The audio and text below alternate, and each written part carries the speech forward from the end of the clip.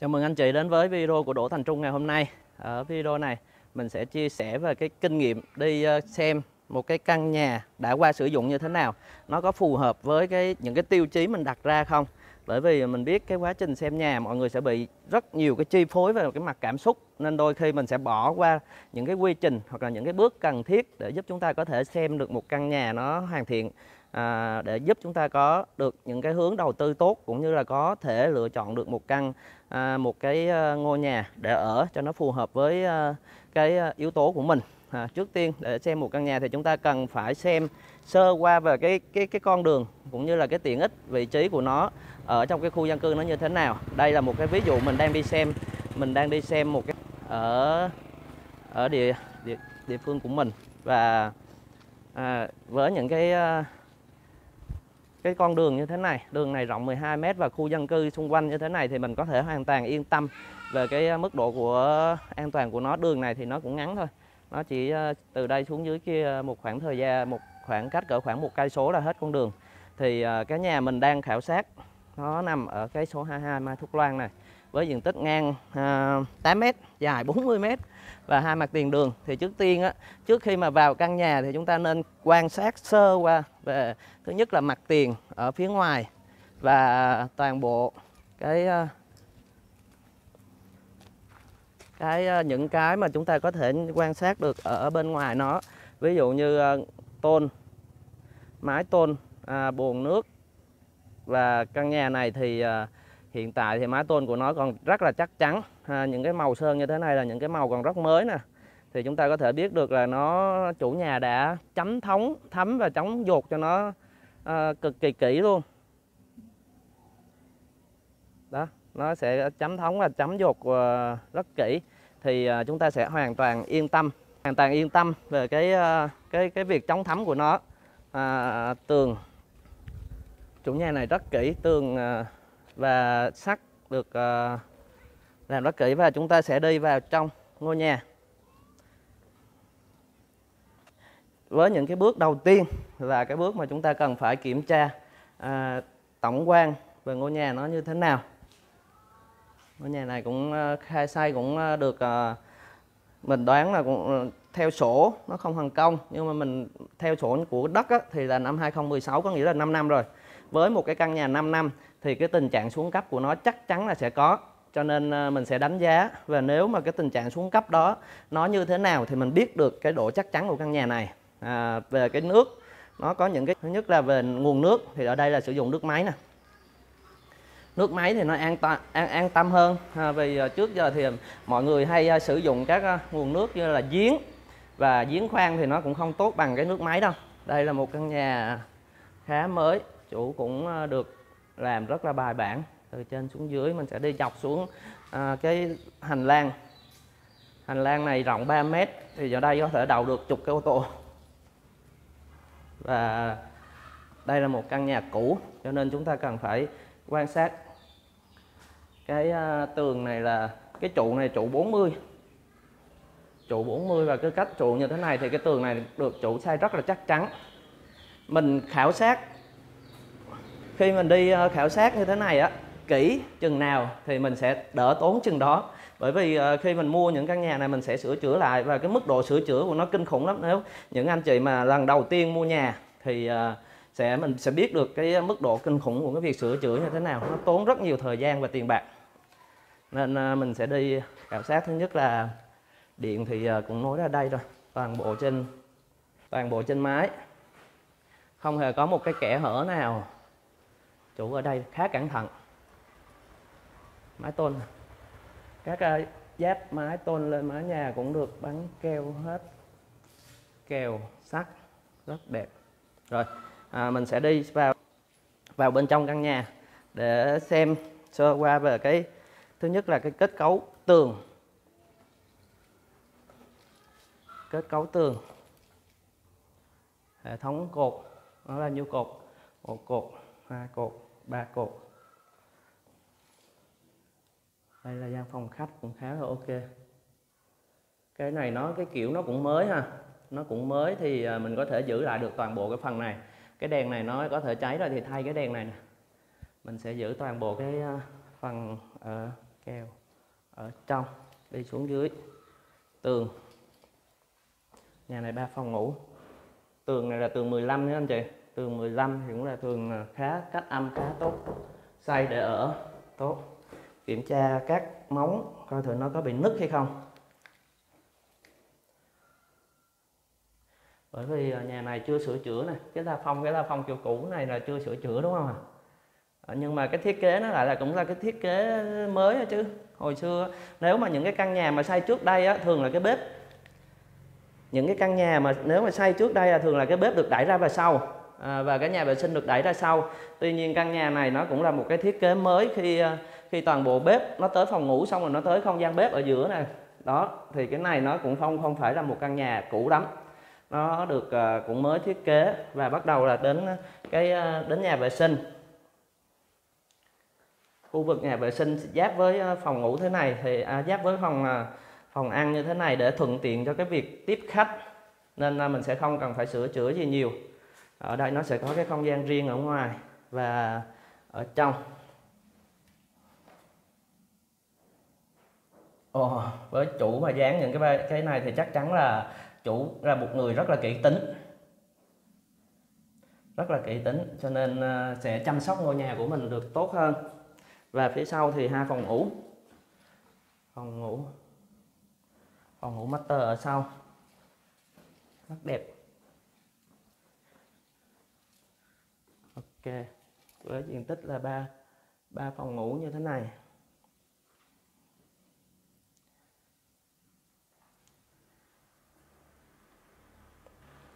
Với cái diện tích ba phòng ngủ và nhìn sơ qua về cái thiết kế của căn nhà này thì à, mình hoàn toàn có thể khẳng định là nhà này xây chưa tới 5 năm.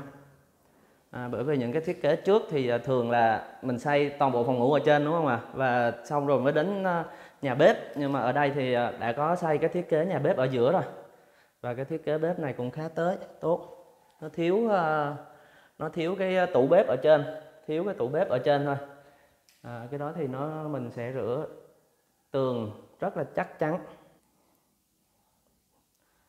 Tường rất là chắc chắn và gạch đây cũng rất là sáng có thể đánh bóng lại. Không cần phải thay thế nhiều. Chỉ cần đánh bóng lại thôi lấy sáng tự nhiên và có một cái, ở đây nó cũng có thể lấy sáng tự nhiên được. Phía ngoài thì có thể đầu được chục cái ô tô. Những cái góc ngách như thế này mình còn phải quan sát kỹ là nó có bị thấm không các anh chị? Như ờ, lúc đầu video mình đã xem ở ngoài phía ngoài á, thì ờ, nó rất là chắc chắn và tôn nó còn rất mới như vậy thì ờ, nó sẽ không thấm đâu. Và vô trong nhà thì chính xác là hiện tại Gia La mình đang mùa mưa. Nhưng mà mình nhìn tất cả các góc tường à, sẽ không thấy hiện tượng thấm nước vào. Thì à, chứng tỏ đã được ốp ở ngoài và làm rất kỹ ở bên trong. Đây thì mình khảo sát nhà và mùa mưa là một cái thuận tiện cho mình. Khảo sát nhà và mùa mưa là cái thuận tiện cho mình. Với một cái nhà mà xây uh, toàn bộ uh, khoảng hơn à, uh, 200 mét vuông như thế này à, xây tường 15 tường 15 chắc chắn à, vật liệu bằng à, nhôm đá hoặc cương đá rất còn còn cũng rất là còn sáng nè. Thì à, cái giá xây dựng để hoàn thiện một căn nhà này cỡ khoảng là 400 4 đến 5 triệu một mét vuông. Một căn nhà này có thể xây hết 1 tỷ. Và với mình à, khi mà mình đi mua những cái căn nhà như thế này thì mình có thể đàm phán được cái giá mình sẽ không tính nhà hả? Không tính giá nhà thì chắc chủ không, không chịu đâu. Nhưng mà mình sẽ thương lượng lại. Bây giờ cái giá nhà này mình sẽ còn cỡ khoảng 500 thôi. Nhưng mà 500 triệu thời điểm này thì chắc chắn sẽ không bao giờ xây dựng được cái nhà như thế này đúng không ạ? À? khi mà mình đi đi khảo sát uh, kỹ như vậy từng ngóc ngách thứ nhất là nước điện thứ hai là chất lượng tường uh, tường và cái độ chăm chút của chủ nhà thì mình sẽ biết được uh, cái căn nhà này nó có giá trị của nó. Và về cái vấn đề pháp lý pháp lý thì sổ này nó đã có đất ở và được uh, kiểm tra mình cũng đã kiểm tra kỹ trước khi đô. Khu dân cư. Khu dân cư đây cũng là khá mới. Đây, những cái nhà đây đều là mới xây cả. Khá mới và nó sử dụng đầy đủ các tiện ích ở đây. Thì đây là một cái ngôi nhà mà mình nghĩ là mình có thể đầu tư được à, bởi vì nó sẽ phục vụ được rất là nhiều người. À, bởi vì ngôi nhà này sẽ phục vụ được rất là nhiều người từ à, cái việc ở ở đây là khu quân đội thì rất là an ninh và toàn bộ cái cảnh nhà ở ngoài như thế này. Rất là bài bản. Khá đẹp.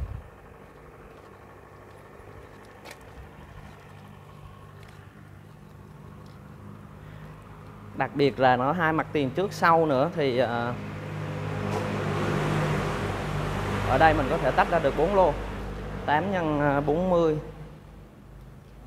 và khi căn nhà nó có một cái cảm giác mát. Vào nhà nó rất là dễ chịu. Đây là cái cảm giác mình rất là thích khi đi xem nhà. Có một cái số căn nhà mình vào á, mình cảm thấy nó rất là khó chịu trong người thì mình chắc chắn mình sẽ không bao giờ mua hoặc là giới thiệu những căn như vậy. Bởi vì cái cảm giác ban đầu nó cực kỳ quan trọng trong việc tìm mua một cái bất động sản. Còn đi à, vào một cái căn nhà như thế này thiết kế rất là cũng được ba phòng ngủ ha. Và cái cảm giác nó rất là dễ chịu. Phòng này à, cũng khá đẹp. Chủ còn chắc chủ nhà giàu. Có cả cái két sắt. Nhà không đẹp nhưng mà người đi quay phim đẹp là được rồi đúng không anh chị?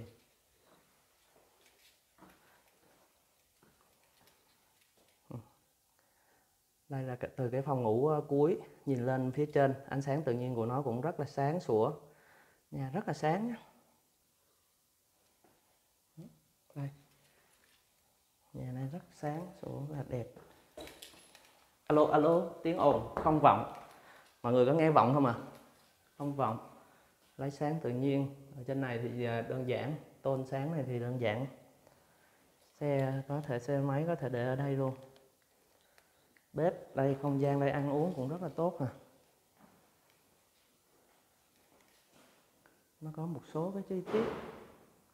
Mình phải kiếm ra được những cái điểm mà mình chê, nhưng mà nhưng mà lại với xây cái kiểu như thế này thì nó lại ít điểm nha.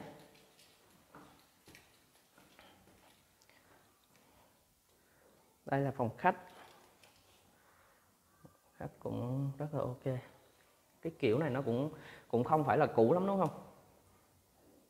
Cái kiểu trần như thế này nó cũng không phải là cũ lắm.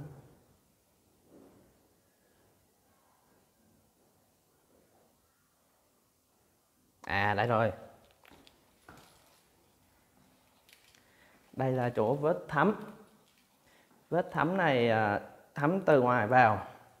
Và thì mình sẽ kiểm tra xem ở ngoài đây nó bị cái vấn đề gì. Đây rồi vết thấm này nè. Từ cái ống nước này lên. À cái ống nước chỗ đây nó bị vỡ nè anh chị. Khi mà đang cái mùa mưa thì à, nó sẽ bị vỡ và nó tràn qua cái cái cái cái cái cái, cái ống này. Khi nó tràn qua cái ống này thì nó sẽ thấm xuống chân tường thì mình sẽ xử lý chỗ này đơn giản. Khả năng xử lý vẫn còn. Ở bên kia thì là sát nhà rồi. Đã có đầy đủ hệ thống cáp internet. Xăng, xăng chơi này nó cũng khá khá ok ha. 8 mét thì nó cũng rộng mà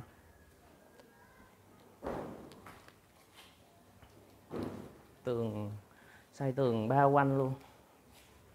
Trước ở đây có thể làm cái nhà kho được nha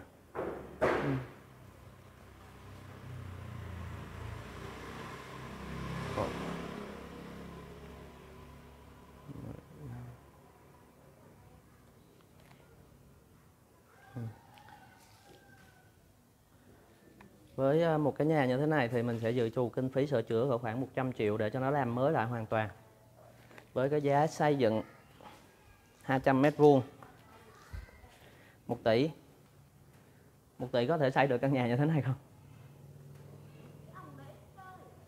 khá khó nhưng mà mình sẽ thương lượng được cái giá tốt.